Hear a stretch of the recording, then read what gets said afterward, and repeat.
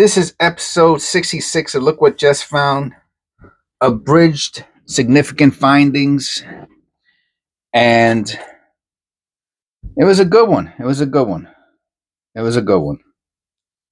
Um, not too many errors, but um, tons of um, AU pennies. These are the three coin rolls. And um, let's see, we have a straggler there. What's this? Oh, 1980. That's an AU. I'll put that over there. Um, let me put a little. Those are the zincs that we found.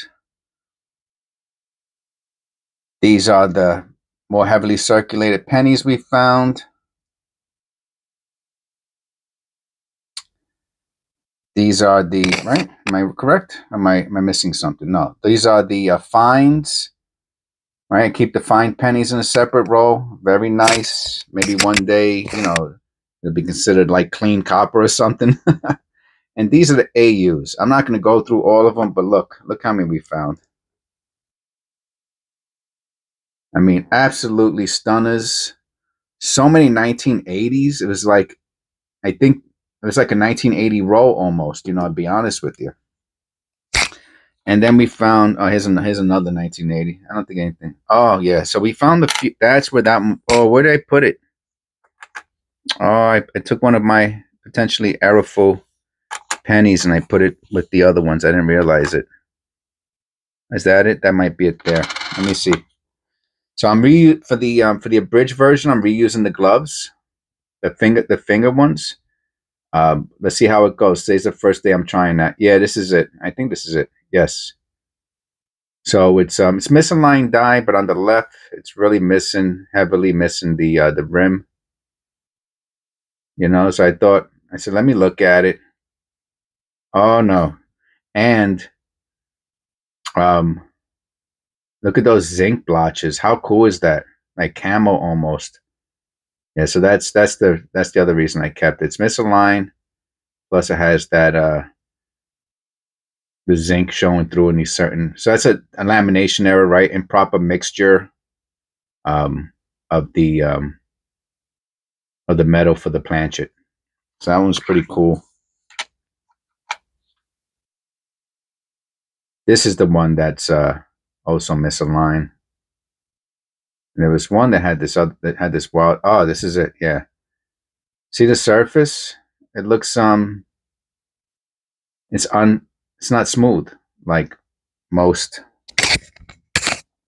Like most penny fields are. You see, it's like uh, it's rough. It's rough. And it's only the it's only the reverse. So I obviously it has to do with unfinished um, smoothing of the planchet. So I thought that was pretty cool. I thought there was a third one. Is this it? Oh yeah, the, on the reverse. I don't know what this is. It has that um, iridescent. Um, I don't know if you can see it. Yeah, you can see it right there. It's very iridescent looking. So I'm also thinking this is some kind of lamination error. It's mostly, I mean, you can see the purple, violet around the uh, the peripheral, mostly. But on the reverse, you really see that, I'm going to call it iridescent look. It's almost like a, it's almost like a, uh, a clear coat um, going over the, the reverse. So I, I held on to that. Maybe I'll do a little short on later. Is it worth anything? I don't know. Probably not. We found a couple wheat cents.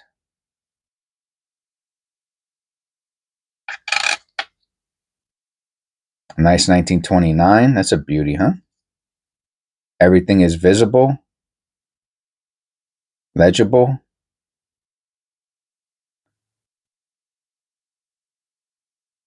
It's not a uh, it's not a key date, but it's a cool first uh, last 1920s. We found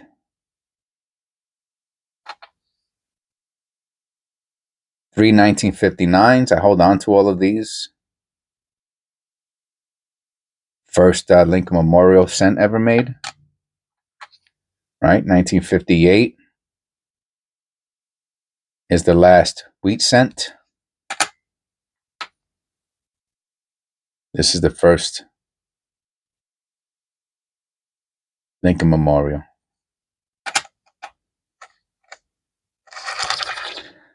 Look at these 1982s. Um, I believe they are all copper Philadelphia large dates. I weighed them all in the video, so check out the video, the long version.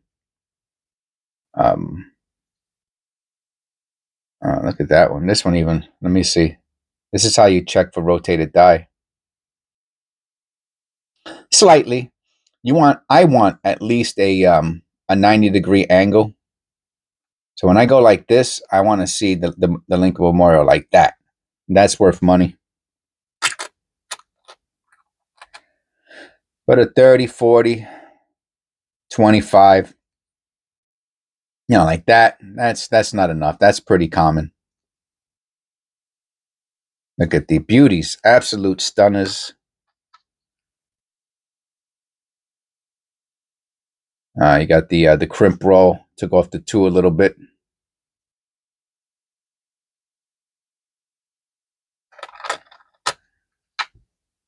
Mostly came out of one roll.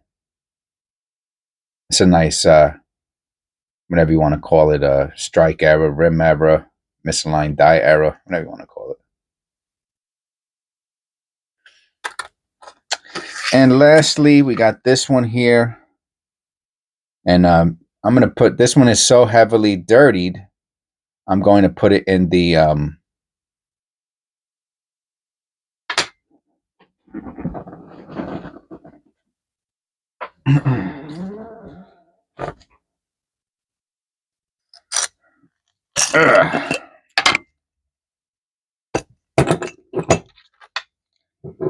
right into the paint stripper. See the red ones in there? So I throw the I throw the ones that have so it's also painted. I don't know if you noticed that. Just not not not painted. It looks like paint. It's um it's annealing. So one day when I get the time, uh, yeah, I'll put it put it back and put it on myself one day when I have the time, I will. Um, I have that'll be a whole nother video that I do with all of the. Um, I just keep a little paint stripper. Look how dirty it got, right? In case it breaks and gets on the floor, you know, it doesn't create such a hazard. Um, so I just keep a little, and it soaks up through, I guess, somehow. And um, I started this, I think, over a month already. So there's pennies in here for, and there's a dime in there and those are um and again i'm not going to make this whole into a big uh, bonus feature or anything but um it'll take that dirt off so we can look at the features. If not i would just it'll be it's just a regular penny. So there's no nothing lost nothing could be something gained but nothing could be lost by doing that. Um it does no damage to the penny as far as i can tell. I'm not an expert. It does no damage to the penny. But it will clean it off so if there's an error now you can see it. So it'll be a, an error penny that's cleaned, which is better than throwing it back into the circulation pile and then you don't get no uh, monetary value off. Okay, I'm reusing the um, the thumb fingers now. I and um, maybe I'll just keep it on for the shorts. Now I'll now I'll go into the shorts, and that was my little uh, monologue. Okay, and I'll see you on the next one. Episode 66.